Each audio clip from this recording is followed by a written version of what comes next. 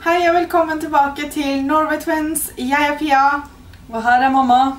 Det her er bloggmest dag 10, og vi er klare for enda en mat på lørdag-video.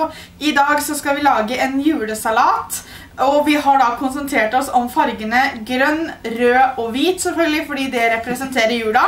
Og det dere trenger for å lage julesalaten, det er som det grønne så har vi litt agurk og en avokado. Det røde blir representert av tomater og rød paprika. Og så det hvite til slutt så har vi da julepølse og fetaost. Det greie med en salat er at det er ikke så veldig vanskelig å lage en, så jeg skal nå bare sette mamma til å drive og kutte opp litt grønnsaker. Så hun skal få kutte opp agurk og paprika og tomatene i første omgang, mens jeg skal ta for meg julepølsa.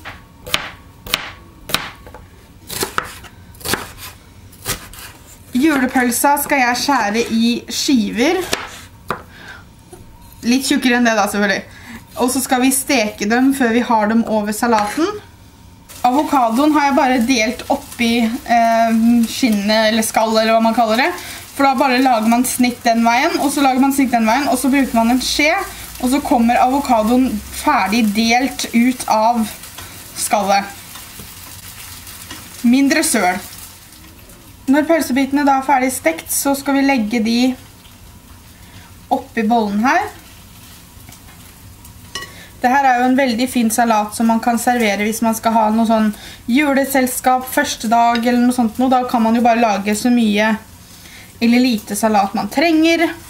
Til slutt så skal vi ta litt av fetaosten, og så skal vi se om vi kan få smuldra det over som litt sånn snø. Tenkte vi da.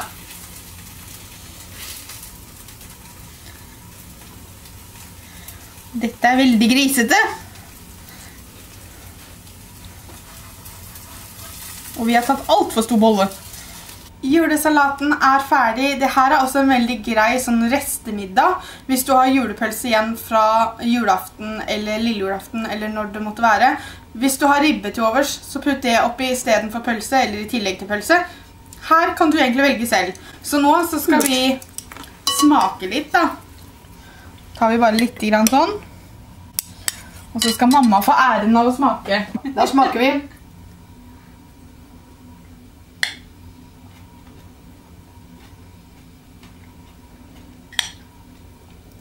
Mhm. Var det godt? Jeg er sulten, så jeg får ikke stoppa her. Det var veldig godt. Vet du hva, det gjorde seg sånn med den pølsa. Så bra. Ja, det var veldig bra. Det var lur. Det var, ja. Ja, det er bra. Nom, nom. Da sier vi tusen takk for at dere så på. Kom tilbake i morgen for en ny bloggmess-video, og så snakkes vi. Ha det! Ha det!